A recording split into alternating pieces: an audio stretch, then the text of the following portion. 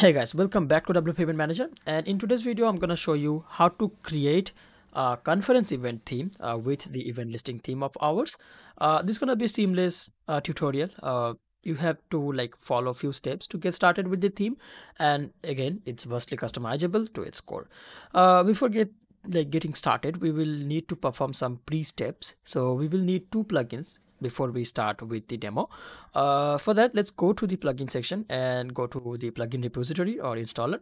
Over here, the first one you will need is one click demo import. Okay, uh, so you can search for one click demo import and the first plugin that will appear on the list over here by OCDI, this one you will have to install and activate this. And the second one is Elementor. You can search Elementor over here and install the Elementor plugin.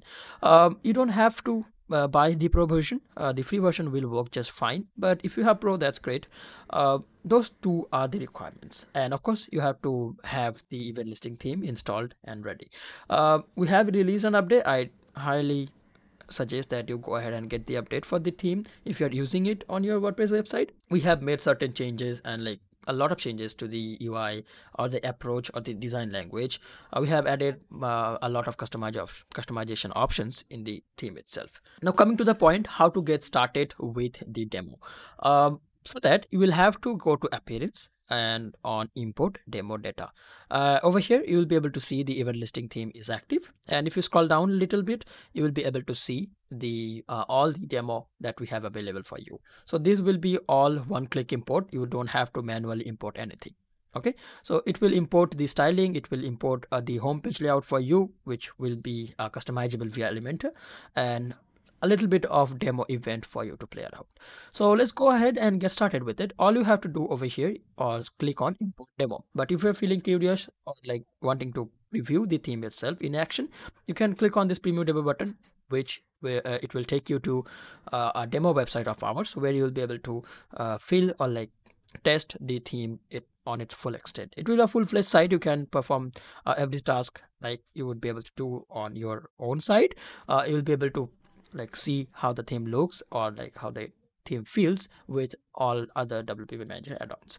So how to get started is pretty simple. All you have to do is click on import demo. Uh, it will take us into a pre-flight check over here and in starting of the video i told you like we will require elementor to customize the home page. So that's already satisfied over here if you have installed. If not it will go ahead and install it for you.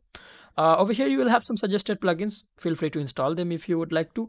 Uh, when you are done you can click on continue and import. Give it a few seconds. Uh, it will go ahead and automatically import everything that's required. And after that we will take a look at the site in the front end side. So here it's done. Uh, now we can go visit the site it will open the home page for us. And over here we will have to do some uh, post installation steps. Uh, first of all obviously as you have already noticed you have to rearrange the uh, menu a little bit. So you can create a new menu and set it to main menu and that will appear over here. Or you can like create uh, or like you can use your existing menu uh, readjust it and use it over here. Uh, that's available from the customize section as you guys already know how to create menus. And if you would pay a little more attention to the home page you will see the template looks a little bit weirded out. So that's an easy fix. All you have to do is go to edit page. It will load up the page editor. Can be gutenberg can be classic uh, doesn't matter. All you have to do is go to template choose elementor full width okay? When you are done click on update. That's how simple it is. When it's updated you can click on the preview link or visit the website again and you'll be able to see the layout is correctly applied here. Um, every bit of this template over here the home page template you see is customizable to its core. All right uh, everything from links to text to images everything is customizable. How to do that? It's pretty simple. No coding required. All you have to do is click on this edit elementor. It will like bring out a graphical interface for you where you can customize the template itself uh, when it's loaded uh, we're gonna take a look at it right here. Uh, everything is drag and drop. You can add remove edit every single thing on this homepage template over here uh, within seconds. So feel free to play play around with the events over here uh, with the template over here. And let us know what you think about the theme. And if you have like a custom theme that you would like to submit or like a template uh, let us know in the comment. We'll be sure to feature them in our next upcoming videos. Um, this is elementor and you can as i said without knowing any uh, coding you can customize every aspect of this page over here. Uh, this is to provide our non-coding friends out there uh, to have like out of the box experience.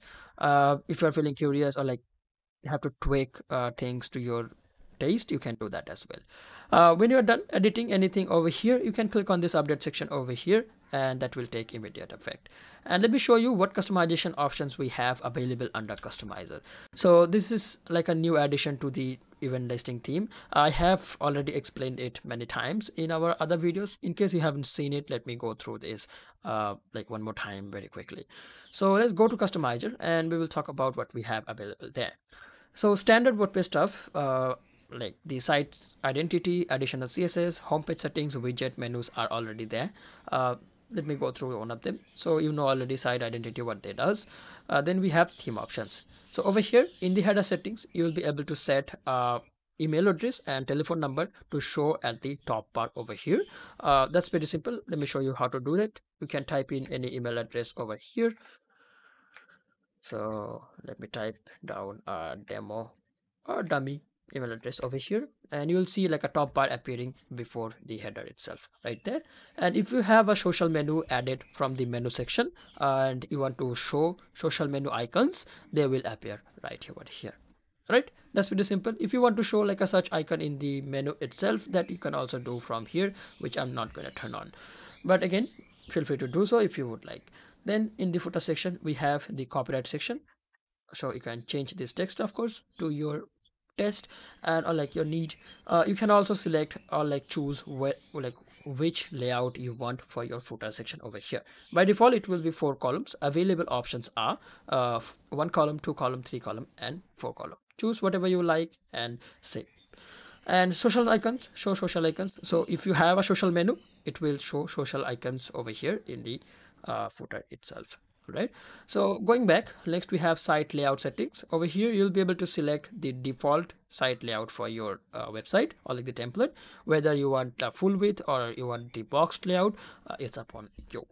Then uh, global sidebar settings whether by default you want your sidebars to be disabled or whether you want by default your sidebars to be enabled on the site itself. That's also set uh, can be set from here itself.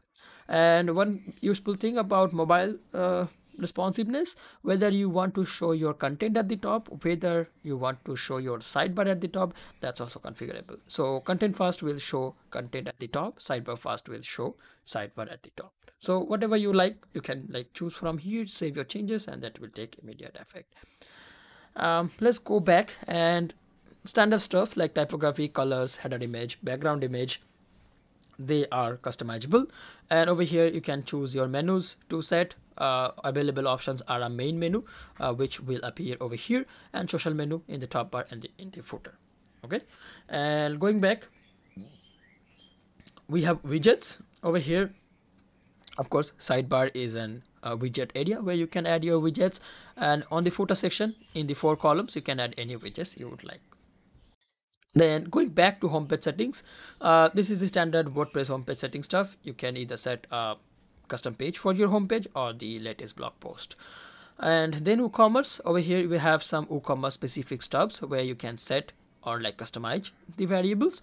Uh, store notice you can type in your custom notice uh, whether you want to show the notice. Uh, you can configure that from there. Product catalog and all. Uh, product images then checkout. Everything is uh, customizable from this section itself. So this theme of our wp event managers event listing uh, we had uh, we have compatibility for WooCommerce storefront, so that's available as well. Um, yeah, that's pretty much covers up this video. Uh, last but not least, actually, additional CSS. Uh, from here, you'll be able to set any additional CSS global wide for this site if you would like so. And if you like ever uh, like want to go back to the base theme like removing the custom color scheme or custom styling that we have uh, imported using the demo importer uh, you can reset the theme to its original state from the customizer as well. Um, when you're done customizing you can click on the publish button and again it will take immediate effect and that's pretty much it so let me know in the comment if you have any kind of questions, any kind of queries, I'll be sure to help you out in there. And until next time, I'm Sharad saying goodbye. Thank you for watching. I'll catch you in the next one.